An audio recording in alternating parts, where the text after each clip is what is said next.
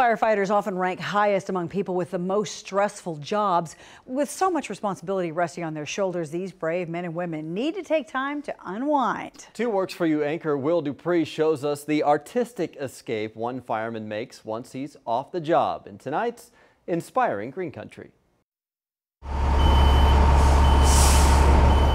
Every time a fire truck rolls out in Claremore, it's loaded with life-saving equipment and people like Daryl Simmons who know how to use it all.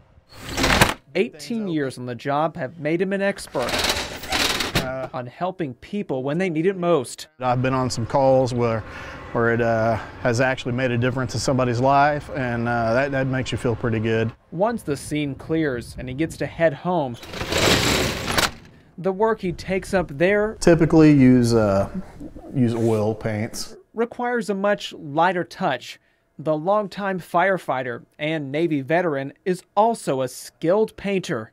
You can really zone out and just enjoy the process. Detailed portraits he's done of wildlife hang all around his home, along with images reflecting his Cherokee heritage. It's another reason that I feel like these paintings are part of me.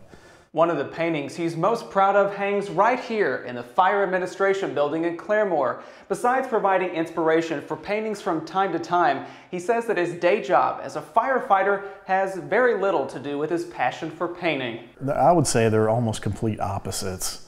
It's, it's a nice balance. Simmons says he sees painting as something he could do forever.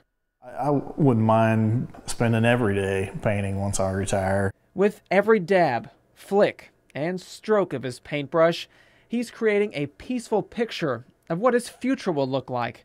A time when his stressful days as a firefighter come to a close. From Claremore, Will Dupree, Two Works for You.